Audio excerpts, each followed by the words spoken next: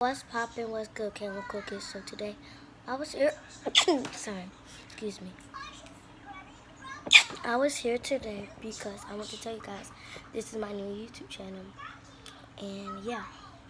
So peace, and one day I'm gonna try to vlog.